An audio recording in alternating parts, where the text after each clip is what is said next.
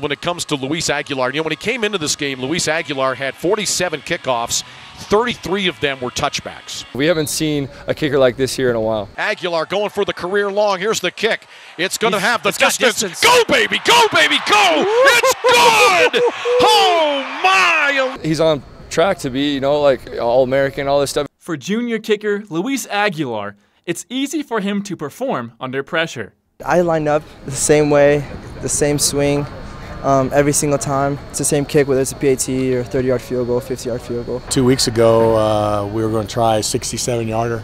Aguilar does have his off days, but he knows confidence plays a big role in his position. If I had two bad days in a row, you, you don't want to carry that all the way to Saturday. But the team has no doubt in number 41.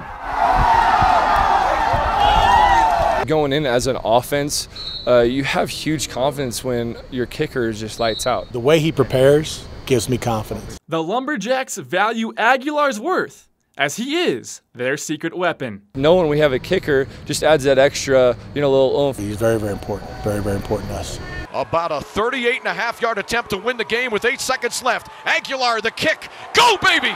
Go! Yes! Yes! Winner, perhaps. With four seconds to go, he does it again. Ryan Peretti, NAZ Today.